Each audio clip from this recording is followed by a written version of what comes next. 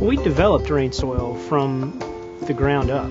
It started out with just us knowing of these ingredients that that retained water, that were all natural from the earth. And the added value in the RainSoil mix is a combination of naturally occurring microbes and minerals that will even bring dirt to life. We are determined to not add any, any chemicals to this product because the earth can supply us with everything that we need. RainSoil has proven its worth in successful field trials on a large scale sod farm and seeding a suburban lawn, both under extreme conditions in America's Mojave Desert. And I thought there's no better way to put this to the test than to try to grow grass from seed in the middle of the desert in my own backyard.